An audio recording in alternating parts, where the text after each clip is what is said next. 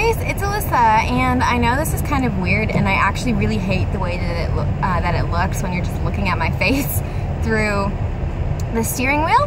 But I'm currently stuck in traffic, and I actually do have a lot of homework to do. I have a test to study for when I get home, and because I'm stuck in traffic, I was gonna get home late to begin with. So today's Writing 101 is actually gonna be done in the car and this there's an idiot. So also please expect comments on the idiot drivers around me every once in a while just because they are stupid and really don't know what they're doing. Like this guy right here. You can't see them obviously.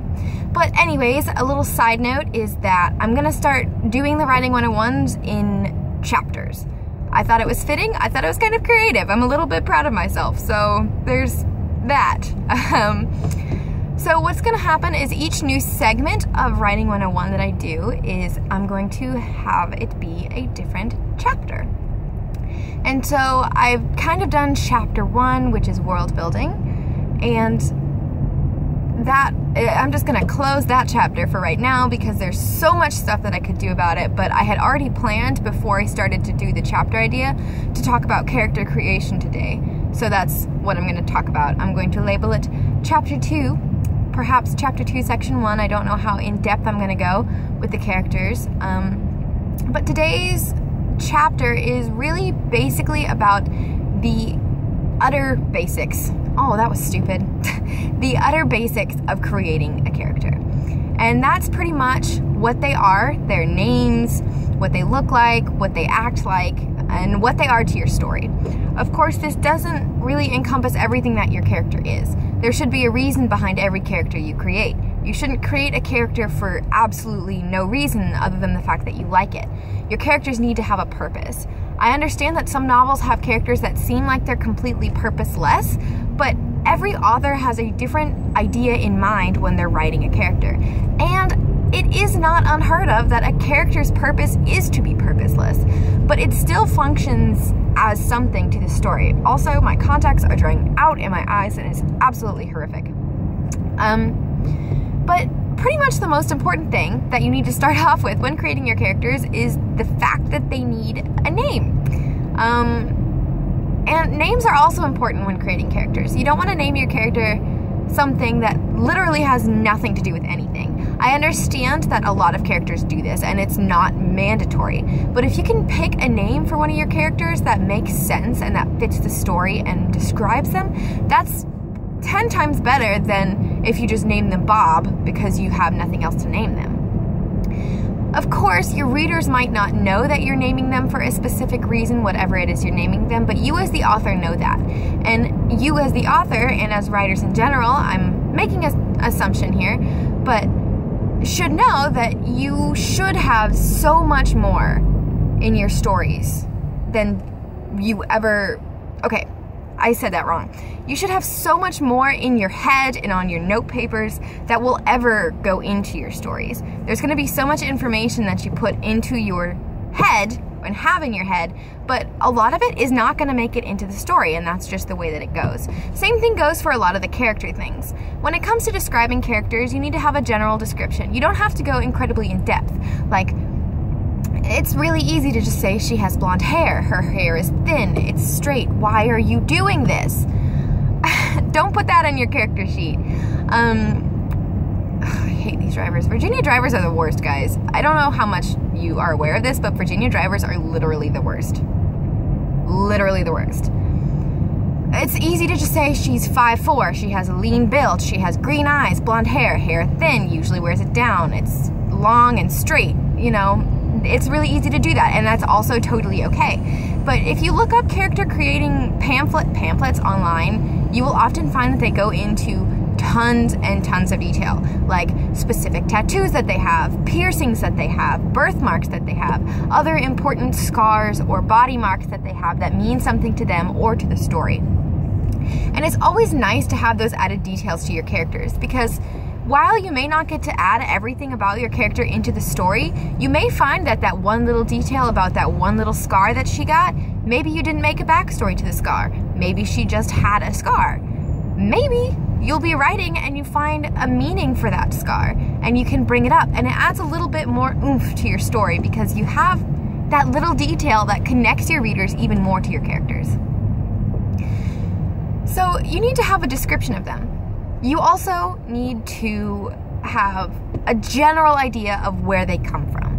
Because where they come from largely impacts who they are and how they act. So, for instance, if your family, if your character had an abusive father, the likelihood is they're not going to be all that inclined to trust adult males if they're younger.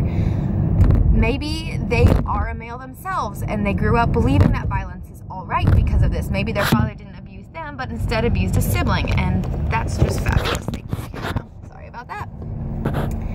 And they watched this violence happen, and so they grew up thinking that violence is okay. And maybe they just have violent tendencies and have anger management issues because of this history that they had. Now, you don't have to go through and write from birth to death. That is not what you need to do. I mean, if you really feel like it, and some authors probably do do this, and sometimes I have the random urge to write a whole bunch about their life. Sometimes I pick specific segments that I just want to write about, and I write about those. But you need to at least have a general idea of where your character came from. It's easier to point in the direction to which they are going when you know where they came from. Plus, as I said, it affects the way that they act, especially like if your character had an abusive father, had an abusive friend, knew someone who had an abusive friend, it's gonna change and shape the way that they act and react. So it's important to know where they came from. Uh, there are characters who don't know where they come from, but at the same time, even those characters, the author knows where they came from. The author knows their backstory. So the author knows how to incorporate that. And of course, for most characters that don't know where they come from, they ultimately end up finding out where they came from. So that's pretty much it for that part. So you need a name, obviously, you need a description, and you need a history. That was smooth, Mr. Infiniti. Okay, um, but also you need dialogue. This is the last thing that I'm going to cover for today. I hate this traffic. It's absolutely insane. You need to have dialogue. I was in a creative writing course freshman year? Sophomore year. Sophomore year, I had a creative writing course that I took with my English teacher, and we talked a lot about dialogue and character creation when we were in our fiction section. And she mentioned something to me that I will never forget. It was an activity that we did. We were reading The Monkey's Fist or something like that. And we had to highlight all the dialogue. And then we went through and read only the dialogue. We had already, this guy behind me is tailgating me. I want you to go die. Um, I'm so sorry, guys. but we read the story first we pointed out descriptions and stuff and we talked a little bit about it and then we went into this activity where we highlighted the dialogue in a different color. And then we all went through and read only the dialogue. And what she stop it you're gonna run into me. This is so frustrating. Um i hate tailgaters. I'm just gonna go like 20 miles under the speed limit to piss them off. Don't drive like me kids. So anyways so we had to be able, well, you should be able to tell whether or not your character is speaking without saying who it is. I realized that was kind of fuddled in the way that I said it. So basically, your character should have a unique way of speaking. Goodbye. I hope you hit that person. I hope they drive super slow. They do drive super. They're driving slower than I am. Sorry, I'm used. I'm not used to having to like cut my rants short. um, I am so sorry about this, guys. Please forgive me. I probably won't end up doing this again, but I did have a lot to do tonight, so I really didn't have a choice. So please, please, please, please, please forgive me for this. Anyways, you should be able to tell which character is talking without any indication of who is actually talking. So if your character Bob, for instance, says something, perhaps Bob is a witty character and so he just says witty things. You should be able to pinpoint, well, your reader should be able to pinpoint something Bob says without you saying, said Bob, or shouted Bob, or he said. You, I think that makes enough sense. But your characters should have a distinct way of speaking. They need to be distinguishable among your characters and other characters in novels. One of the most important things that you want to do with your characters is make a character that someone is going to remember and enjoy reading about. You want to create a character that is going to be memorable. So part of part of that is creating a character whose dialogue is easily recognizable among your characters and among other people's characters, even though it is more important that they're easily recognizable between your own stories. You are not getting in front of me. So make sure that when your characters talk, it's not just flat. Make sure they don't all talk the same. Make sure Bob and his brother and his brother's friend and his mother and his grandmother and his grandmother's grandmother don't all talk the same. They're not all witty. Maybe his great grandmother is a boring, boring, boring old hag. Who knows? When the reader reads Bob's boring old hag great grandmother, they'll know it's her talking, whether or not you say, Margot said this or not. So, just a small little recap before I close for today.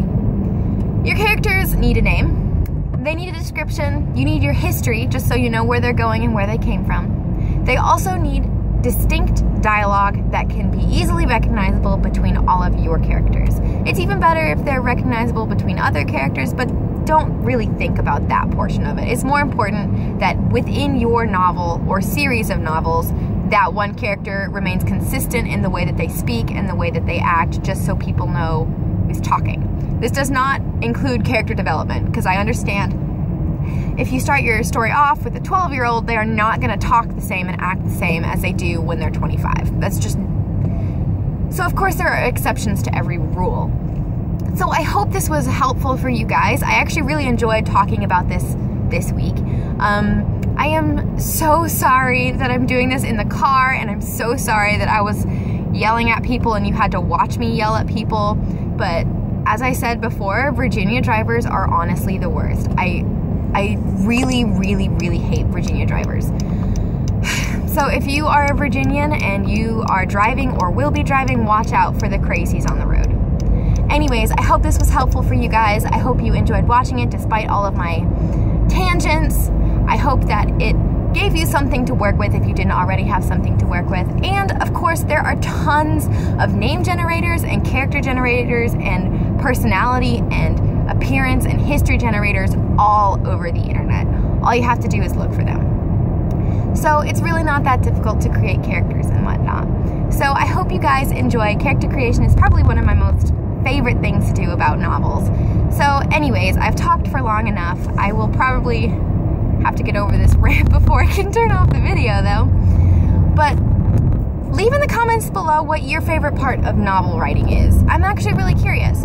I really, really, really love character creation and I tend to create characters even if I never end up using them. So what is your favorite part about writing a novel? Do you like writing the plots? Do you like naming things? Do you like map building? World building is a better word for it. I love world building too, but characters are probably my favorite. So leave me leave me a comment and tell me what your favorite part is, and I will see you guys on Sunday. Peace out, guys.